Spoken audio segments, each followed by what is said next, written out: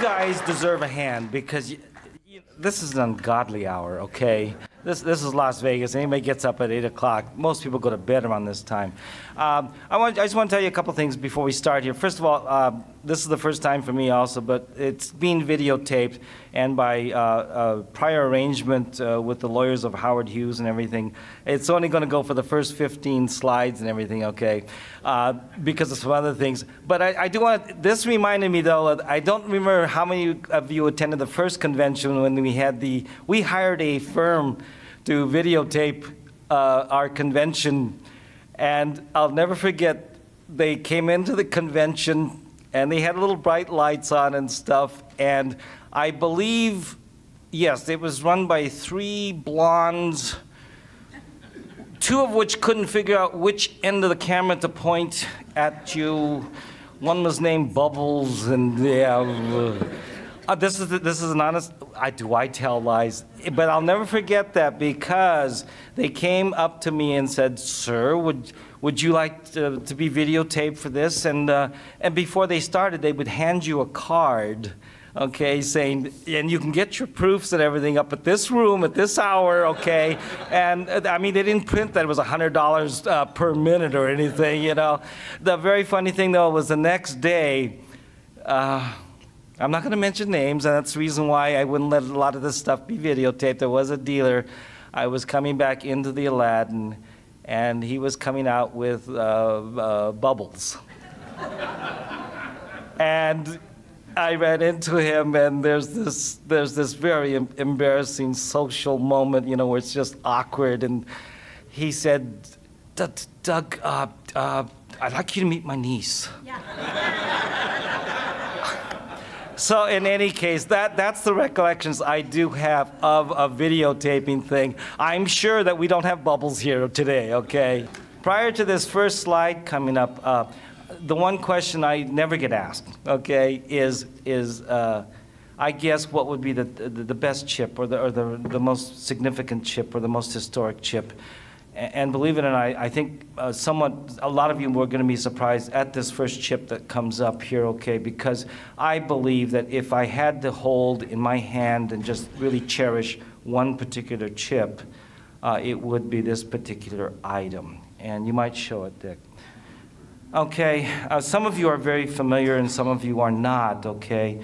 Uh, the reason why I feel this is a historic chip and very significant, obviously, is that this is a chip that was owned by Napoleon. And I believe that, yes, for all of our Bugsies and our, our beautiful uh, sands chips and everything, this is much more significant to me, okay? Everybody in the world could probably mention Napoleon, okay? Um, so what you have here, and, and it, it does have a lot of meaning, because if you look at it, uh, it's made of, I believe, a composition of mother of pearl and, and tortoise shell, and uh, it, it, it, does have color to it and everything.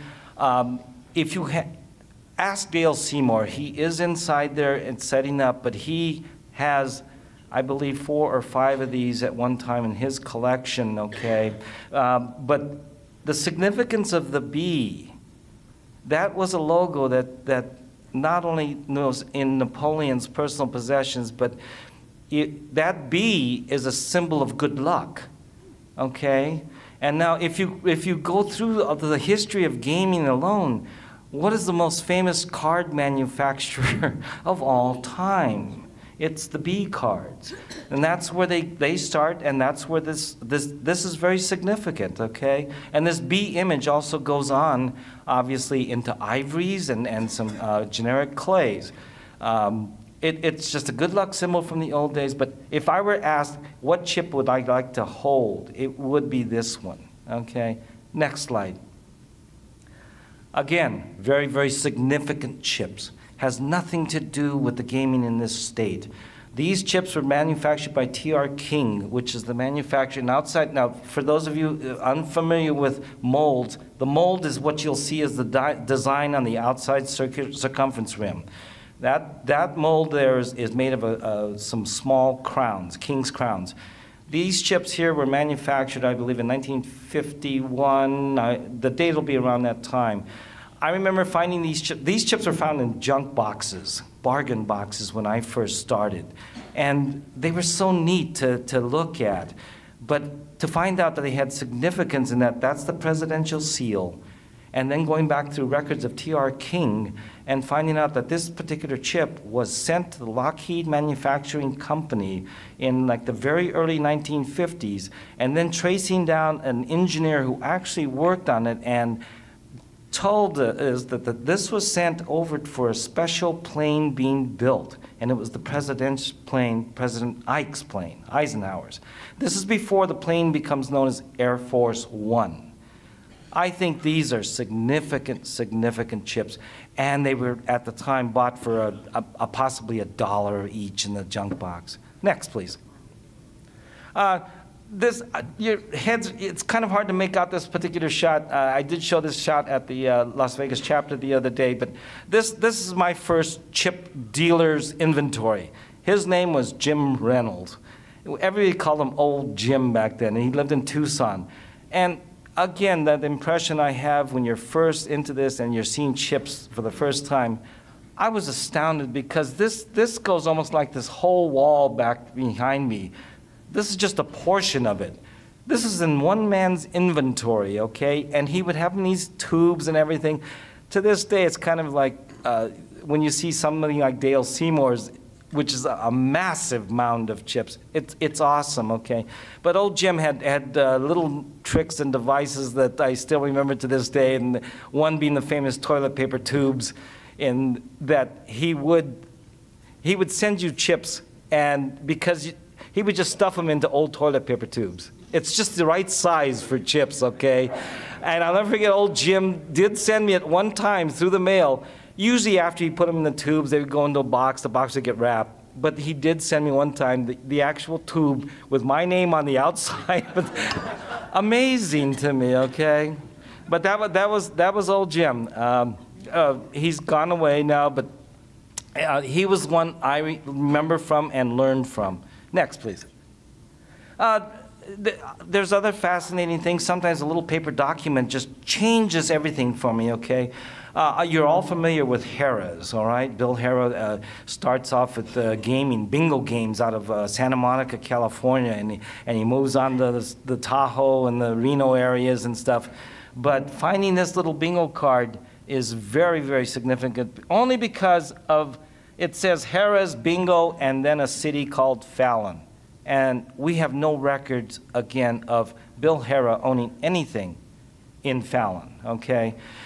That's what I was talking about earlier, where knowledge in, in this hobby, we, I don't think we've uncovered more than 10% of true ownerships of things, at, at least even in the state of Nevada. If you consider all the U.S., we haven't scratched the surface. And it's little items like this that are significant because it may have been the only paper document to show that Bill Harrah had something to do in the city of Fallon. Next. Uh, I, this, this, some of the most significant places are, are little places in Las Vegas, okay? This is a place called uh, Cal's. Uh, this, uh, Cal's Gin Mill. What you see here is a that's a former grocery store, okay, when he bought that and converted it into a casino. These are the types of casinos, actually, that you should try and visit today, the very small ones in Las Vegas. You see the strip ones. I don't think they're going to tear down the Bellagio tomorrow, okay? I think you have a very good chance of something like the Pot of Gold in Henderson, going in Elistra, uh, Liguori's. These are the small little places that you should see first as a chip collector before they disappear. Okay, to say that you were in. And a significant item here is that up at the top uh, of the building was the sign that Calvin had for his place, which is also duplicated on the chips. And that's why we know that that is from Cal's Gin Mill in North Las Vegas. Next. Uh, this is, a, this is the, the grand opening, obviously, of the Excalibur, and I've already told the story a uh, two couple nights ago, but um, I thought it was significant to myself only because back in the old days, and I know there were three other instances of this, uh, when a casino would open and they had it on the drawing boards, there would be no name for the casino yet.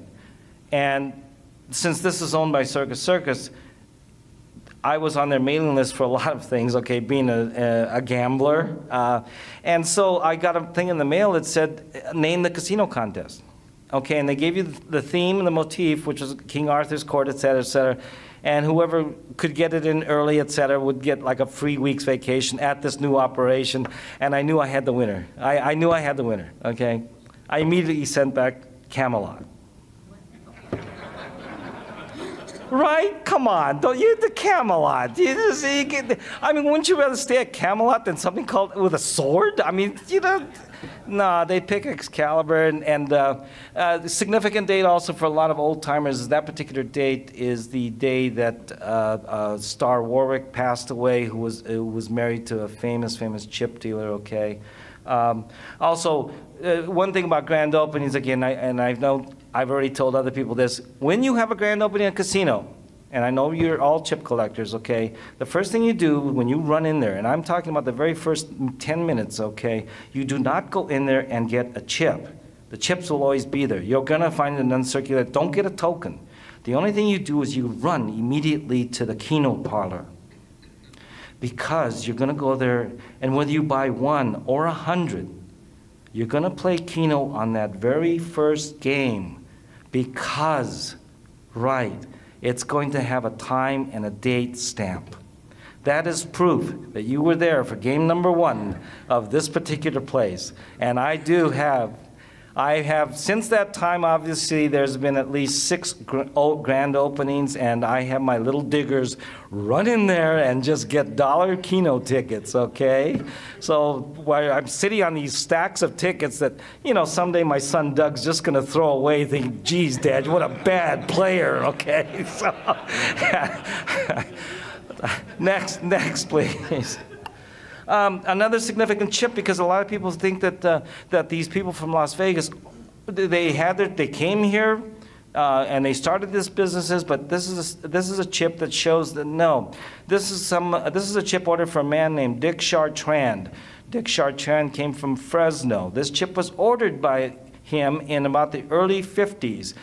Later on, of course, Dick Chartrand goes up to the lake and opens a place called Barney's but it shows that he had some sort of history prior to coming to Nevada, in which almost every one of those old timers in the 50s and 60s had priors. A lot of priors, okay? Next, please. Uh, again, Doc, very, very simple chip. Uh, and the lineage of this particular piece, we can trace back to the records of T.R. King Company because of its mold. Its mold being the four large crowns now on the rim. Uh, this particular chip was ordered for um, H.G. Bartlett, Doc Bartlett, and I believe this chip goes into Wyoming. And again, Wyoming is a place that had a lot of illegal gaming, but I believe we only have like 18 chips total that came from that state. Uh, it, but anyway, Doc Bartlett ordered this chip, and with the next slide, it's tied into the Fortune Club. This is Cecil Lynch's Fortune Club, which was downtown. This is the kind of place that I wish I had been in at least one time. Okay, I'm sure that's it, it's hokey looking in a lot of ways. I'm sure that's plyboard up there, but they these are the kinds of casinos that people actually played in in the 50s and 60s. Okay. Um, anyway, Cecil Lynch is the name atop the uh, the slot machine there, and it says Cecil Lynch. Cecil Lynch's Fortune Club. Uh, the prior chip with Doc Bartlett, he was a partner and who also ran games at Cecil Lynch's Fortune Club. At that particular time, a lot of owners leased out the blackjack tables or space for this, and it would be chips that didn't say anything like Fortune Club. It would be that particular operator's chips. So this is a fascinating part of, the, of Las Vegas history in that a lot of chips don't necessarily have a name of casinos on them, but they are true, authentic chips. Next. Uh, this, is a, this is a dear old friend of mine. He's now passed away. His name is Willie Capucci. Uh, this takes place in Fallon, and I love this particular shot because this is my opening shot when I go up to Fallon and I want to meet Willie. He used to own a place called the Esquire Club. Uh, Willie loved animals. Willie, this, what he's doing there is he's feeding ducks in his own pond. And I, this is my opening shot, and I, I, love this shot because right after this, I'm walking through water. Uh, there's just, it's a mess. There's duck crap all over. It's on my shoes. And I go up there, and then there's, I say, Willie, and he turns to me and goes, I'll be right back. Look, can, can you just unload my truck? And I said, Well, Willie, you know, and he goes, no, no, no, I do, I've got, I've got stuff for you in the house. I'm starting to, you know, I'm feeding those ducks, baby. Oh, am I feeding? I unload that whole thing, and you know, out of the corner of my eye, I see him in the window, watching. the, the, go to the next shot, please. With Willie, this is the reason why. Willie is a pack rat. This is just one section of his two acre place. It was just loaded with all kinds of memorabilia. He collected signs. He had this. I spent approximately one day with Willie, and we didn't come across a single chip. But his ducks got fed, didn't they? Next. Um, I, I, again, I like, I, this is kind of a favorite shot of mine. Uh, this remnants of this place you can still see today. It's kitty corner from the Sahara, okay? In fact, they, re, they reopened a place called Honest John's there as a bar. But uh, the reason why I brought this shot is a lot of people have Honest John's chips or memorabilia from it, and they think it comes from this particular place. But with the next shot, I think uh, there's another also there's also another Honest John's, and this actually was much more famous in this town for locals because this is downtown. This is what becomes later on known as the Lady Luck. This is the, what the property, the, this particular Honest John's was on the property now known as the Lady Luck. This was also owned by um, Art Grant, and he's also very famous because he's on the Thunderbird host chips. And Phil Jensen used to come in this place and drink beer for 25 cents or whatever at the time. And he said that there were little bowls that old Thunderbird chips used to be in, and they were being used as drink tokes. Okay, next. Back to the old uh, Honest John's. Now you have a place next door to Honest John's with, called the Centerfold. And these kind of places don't exist any longer. These were strip joints. These were, were uh, hurly-burly, burlesque type of things were going on, okay? And they usually had one table game. They were only licensed for one table game. Uh, Phil Jensen, if he's ever walking around, I believe I have a shot later on of Phil Jensen. He was one of the few to have the privilege of going to all the strip joints, okay, to get chips, or under the guise of getting chips, okay. But th those days are long gone. They, they, the, reg the regulations today, either Clark County records or, or uh, the state of ga uh, gaming regulations, forbid that. So, centerfold chips, sneak joint chips, um, uh, uh, some other places in town here and some of the places in Reno, to me, they're, they're fantastic chips because they, they come from an era where other things are going on. Next. That was 15. Cut.